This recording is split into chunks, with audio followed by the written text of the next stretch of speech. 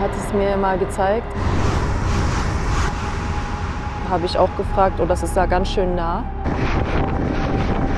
Er sagte zu mir, dass ich mir keine Sorgen machen solle, dass die äh, Bahngleise gesperrt werden, wenn, wenn die dort am Arbeiten sind. Ihr Lebensgefährte Ali Chaihan wird in Köln von einem Zug erfasst und stirbt nur wenige Tage später. Er war Weichenmechaniker, 33 Jahre alt, Verdienst 1700 Euro. Die beiden wollten heiraten. Man stellt sich vor, hat der Lokführer ein Signal übersehen? Hat der Tower vielleicht vergessen, die Strecke zu sperren? Plötzlich Arbeiter im Gleisbereich. Philipp Grams erlebt als Lokführer immer wieder gefährliche Situationen. Wenn ich das einfach mal hochrechne, also kommt das mindestens drei, viermal am Tag vor, dass Leute wirklich ein Sicherheitsrisiko ausgesetzt sind. Jedes Jahr gibt es tödliche Unfälle. Wer trägt die Verantwortung? Dürften wir Ihnen eine Frage zum Arbeitsschutz am Gleis stellen? Herr Minister, es sterben Menschen am Gleis. Frontal. Tod am Gleis. Köln. S-Bahnhof Trimbornstraße. Über uns das Gleis, an dem Ali Chaihan getötet wurde. Dort dürfen wir nicht drehen. Aber wir erhalten ein Video, anhand dessen wir versuchen, den Unfall zu rekonstruieren. Am Bahnhof gibt es regen Zugverkehr, Regional- und Fernverkehr. Ali Chaihan befindet sich zwischen den Gleisen, wohl an diesem Bremsmagneten. Er ist mit einem Kollegen vor Ort. Was dann passiert, wird ein Jahr später immer noch Gegenstand von Ermittlungen sein. Ali Chaihan wird am Kopf getroffen und muss an Ort und Stelle mehrfach reanimiert werden. Das Unfallfoto mit dem herumliegenden Verbandszeug vom Notarzt. Der Lokführer hat gebremst, aber offenbar erst, als es dafür schon zu spät war. Katharina Duarte habe bisher weder von Behörden noch der Deutschen Bahn Antworten zur Unfallursache erhalten. Wer da einen Fehler begangen hat, das wissen wir bis heute nicht. Man versucht die, diese Szenen jeden Tag, wie, hätte, wie konnte es passieren? Hat er gelitten? Diese ganzen Fragen belasten einen sehr. Während der Recherche erhalten wir den Anruf eines Fahrdienstleiters. Eine Reparatur an dieser Stelle, da hätte man auf jeden Fall das Gleis sperren müssen. Da hat irgendjemand seinen Job nicht gemacht. Diesem Verdacht wird später auch die Staatsanwaltschaft Köln nachgehen und gegen einen Bahnkollegen ermitteln, weil der die notwendige Gleissperrung nicht beantragt haben soll.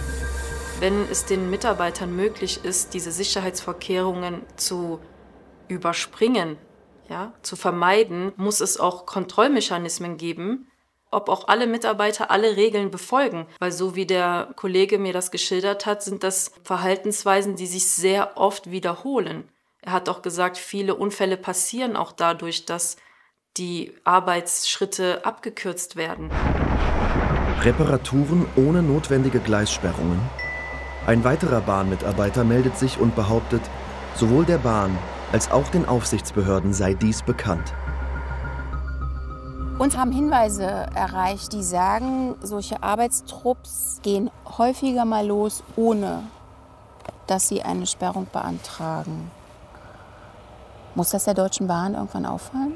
Klar. Und den Unfall schiebt man dann auf menschliches Fehlverhalten, auf die Unfallbeteiligten und hofft, dass die Staatsanwaltschaft nur die kleinen Mitarbeiter verfolgt. Und nicht die Struktur oben drüber. Und nicht das System oben drüber. Die Bahn widerspricht und schreibt, alle Arbeitsunfälle würden sorgfältig untersucht. Zu fehlenden Gleissperrungen heißt es, Zitat, bei unseren unternehmensinternen Kontrollen treten Auffälligkeiten nur in seltenen Fällen auf. Simon Hedemann war 19 Jahre alt. Im September war er in der Nähe von Hannover mit Kollegen am Gleis unterwegs, als er von einem Güterzug erfasst und getötet wird, während seiner Ausbildung. Das sind einfach zu viele Fragen. Entschuldigung. Und das, das hört nicht auf. Simon war begeisterter Eisenbahner, erzählen seine Eltern. Nach seinem Tod erhalten sie per Brief unter anderem die Aufforderung, Simons Arbeitsgegenstände und den Konzernausweis an die Bahn zurückzugeben, aber keinerlei Erklärung, wie ihr Sohn während der Ausbildung vom Zug überfahren werden konnte. Das hat er da neben den Schienen gemacht. Ja. Sie wissen noch nicht mal, was er da gemacht hat. Nein, nein, wir wissen gar nichts. Nichts Genaues. Wer hat da geschlafen? Wer hat Informationen nicht weitergegeben? Hm. Wusste der Schaffner oder der, der, der Zugführer überhaupt, dass da jemand im Gleisbett ist? Das sind also die Fragen, die gehen einem ständig, ständig durch den Kopf.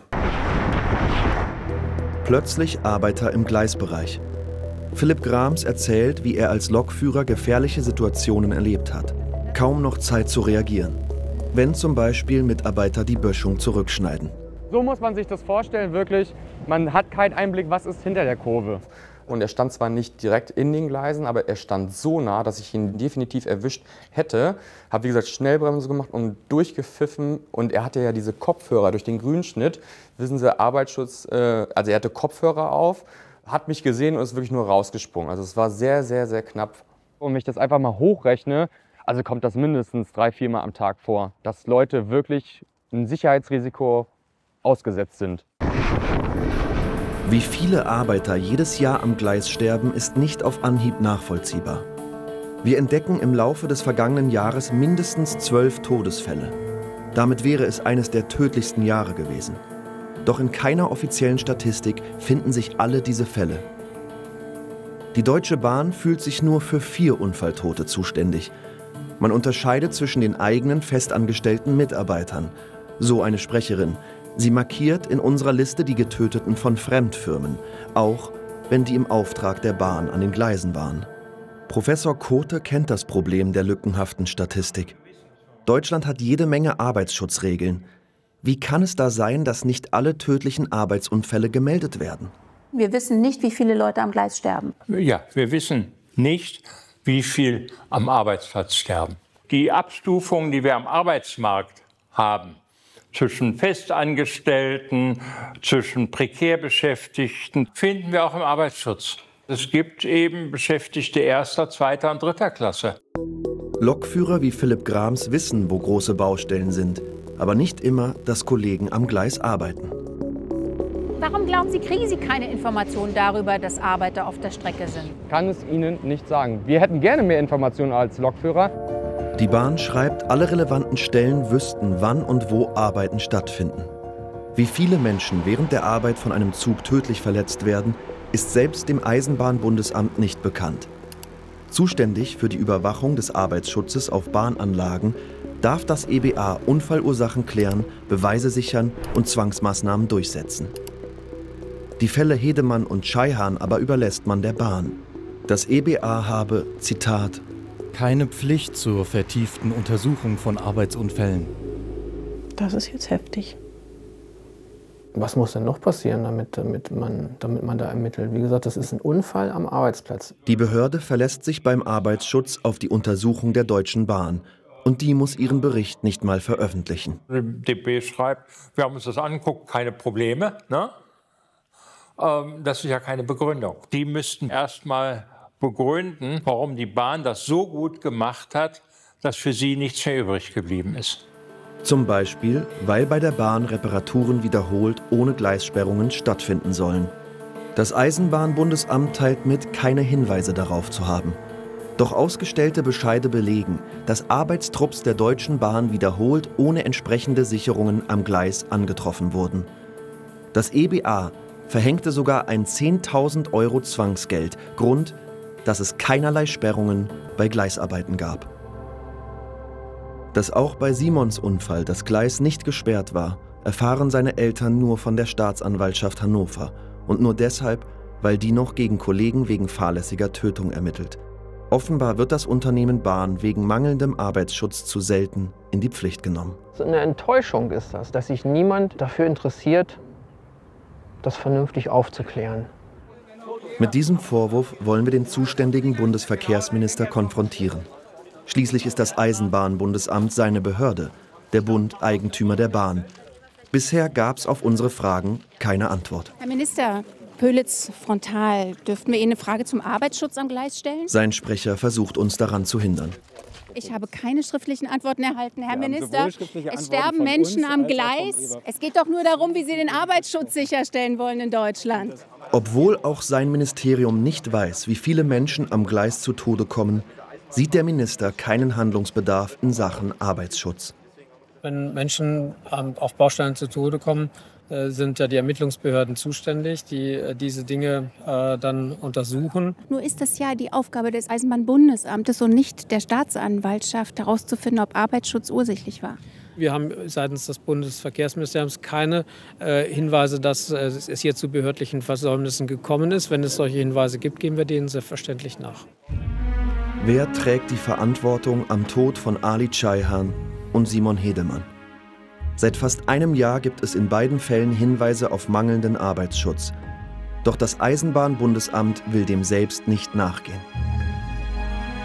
Er ist ja kein Einzelfall. Und es kann ja nicht sein, dass es ein Kontrollsystem gibt, was anscheinend nicht seine Aufgabe erfüllt, nämlich die Deutsche Bahn zu kontrollieren.